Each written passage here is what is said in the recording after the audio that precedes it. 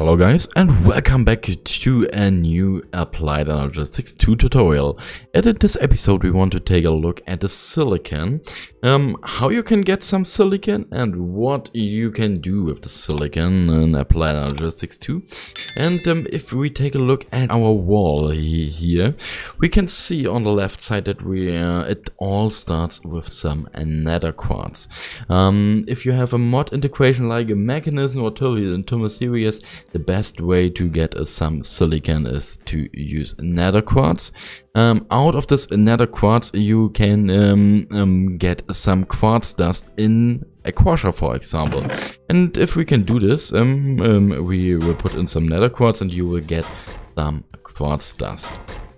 Okay, and um, if you want, you can use this quartz dust uh, to get some silicon in uh, an energized smelter, for example. And um, this silicon, at least, um, you can put into an inscriber to get uh, some printed silicon.